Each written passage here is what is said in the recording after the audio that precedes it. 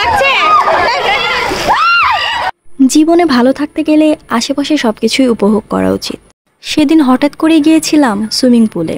যদিও আসলে আমি ওই দিন যাওয়ার জন্য একদমই প্রস্তুত ছিলাম না ইভেন আমার শরীরটা এতটা খারাপ ছিল, আমি জাস্ট ঘুরে, ঘুমিয়ে গিয়েছিলাম বাট আমার যে বাড়ির পিচি মানে দস্যুগুলো আছে ইভেন আমার ভাতিজা এবং ভাতিজিগুলো আমার রীতিমতো টেনে তুলে নিয়ে চলে গেছে। সো ওরা এসে দাঁড়াই ছিল তোমার যাওয়াই লাগবে, কিছু করার নেই। সো তারপরে আসলে এই টানটবলা নিয়ে আমরা আসলে রওনা দিই আর এই যে রাহি বসেছিল সো তারপরে অটোতে এইভাবেই চলে যায় আর আমার অবস্থা তো অনেক বেশি খারাপ। আমি করে আসলাম। আর মকটেল আইসল্যান্ডে এই মুহূর্তে আসলে দেড়শো টাকা করে একটা প্যাকেজ চলছিল। তারপরে আমরা আসলে অনেকজন গিয়েছিলাম আমরা সেটাকে ডিসকাউন্ট করে একশো টাকায় ঢুকে পড়ি। অ্যান্ড এই যে তারপরে ঢোকার পরে দেখতে পাচ্ছেন যে এনভায়রনমেন্টটা এটা অনেক সুন্দর। আপনার যদি মানসিকভাবে আপনি অসুস্থও থাকেন বা হচ্ছে শারীরিকভাবে অসুস্থ থাকলেও আপনি জাস্ট আপনার মাইন্ডটা একদম পুরো চাঙ্গা হয়ে যাবে। এই হচ্ছে set up lighting set up and এত সুন্দর একটা পানি দেখলে। আর আমি এই যে তারপরে দেখতে পাচ্ছেন মক, মকটেল আইসল্যান্ডের যে লোগো সো ওখানে একটু হালকা ভিডিও টিডিও শর্ট নিচ্ছিলাম। আর সবচেয়ে মজার ব্যাপার ছিল যে আমরা যেহেতু গিয়েছিলাম হচ্ছে একটু লেট করে সো এই টাইমে দেখি প্রচুর বাচ্চারা এসেছে ইভেন তাদের বাবা মা, বাবা বলতে মারাই বেশি বাচ্চাদেরকে নিয়ে এসেছে। সো এই যে দেখতে পাচ্ছেন ওদের অবস্থা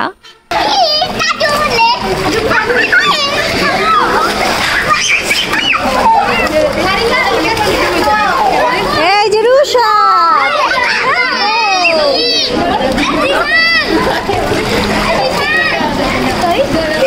দেখুন, জীবনে যাই ঘটে থাকুক না কেন, নিজের ভালোটা কিন্তু নিজেকেই থাকতে হবে। তো আপনার ভালো থাকার জন্য কিন্তু অন্য কেউ চেষ্টা করবে না। সো এই যে সময়গুলো পার হয়ে যায়, এগুলো তো আর ফেরত আসবে না। তাই প্রত্যেকটা মুহূর্তই আসলে উপভোগ করা উচিত আমাদের। সেটা হোক আমাদের ফ্যামিলির সাথে, হোক বান্ধবী বা ফ্রেন্ড সার্কেলদের সাথে। কারণ জীবন তো একটাই। আর এ একবার তো পড়েও যেতে নিছিলাম, তো তারপরে আস্তে আস্তে সবাই দেখলাম অনেক মজা করছে সো আমি নেমে গেলাম। নেমে আসলে এই যে পানির যে ভাইবটা এটা আসলে ফিল করার চেষ্টা করছিলাম। অ্যান্ড সবাই সত্যি কথা বলতে অনেক মজা করেছে, আমারও অনেক ভালো লেগেছে, আমি যদিও অনেক অসুস্থ ছিলাম তারপরও হচ্ছে মানে এই পানিতে আসার পরে যখন আমি সুইমিং করলাম, তখন আসলে আমার সত্যি মানসিকভাবে অনেক প্রশান্তি চলে এসেছে। আর আমার, আমি যদি না যেতাম, আসলে এটা ফিল করতাম। মজা লাগছে মজা লাগছে মজা লাগছে এদিকে তাকাও এদিকে কেমন লাগছে বলো ও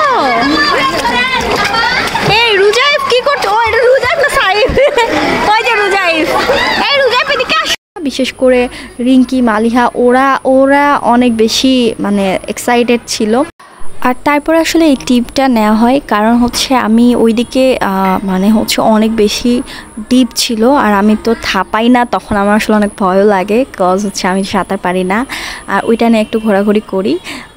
এই হলো অবস্থা, মোটামুটি ভালো একটা সময় আমরা কাটাই কোয়ালিটি টাইম ছিল ফ্যামিলির সাথে।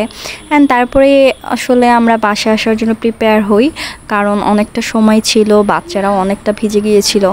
বাসে থেকে বারবার ফোন দিচ্ছিল। সো এই যে হচ্ছে একদম লাস্ট পার্টটা ওয়াশরুমে চলে আসি। অ্যান্ড ভিডিওটি যদি ভালো লাগে, অবশ্যই সাথে থাকবেন। ধন্যবাদ।